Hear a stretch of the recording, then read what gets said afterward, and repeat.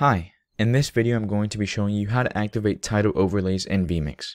First things first, we're going to want to go ahead and open up the program. Then we're going to click on Add Input. We're going to scroll down here until we find the option that says Title slash XAML, and it'll automatically bring up the title overlay section. So there's a couple different ones you can choose from, but for the sake of the video, I'm going to be clicking on the very first one, the classic blue. We're going to click on it, and I'm going to click on OK and then automatically to our left and right side, the title overlay shows up.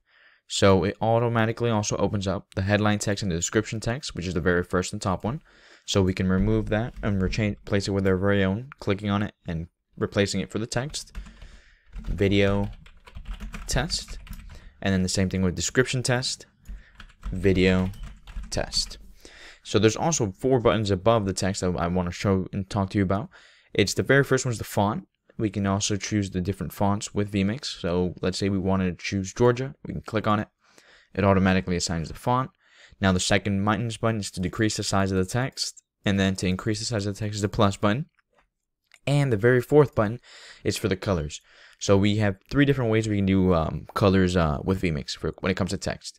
You can do the hex code. You can do it customizing, you know, your very own way. Or you can do a fast color. Just clicking on it, clicking on OK. So it automatically replaces the color. We can do the hex code. Let's say, let's see if 12222 is one of them. We click on OK.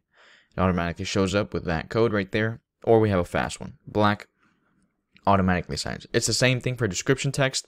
Those four icons are the ones that I want to show you and talk to you about. It's decreasing the size, increasing the size, and the font and the colors. Once we're done, we can just click on that one.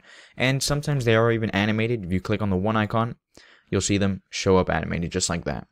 So one more time, the steps were add input, title slash XAML. We can find ones that we like. Um, you also have logo ones that you can upload your very own logo to. We'll be talking about that in a future video.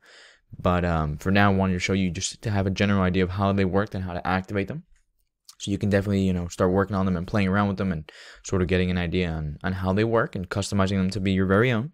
Um, but you just click on the double down, for example, headline text shows up. Let's click on one so we can see it automatically shows up. So headline text is the first one, description text is the second one. If you have any questions or comments, feel free to leave them in the comment section below, and I will be happy to help you out. Thank you so much and have a great day.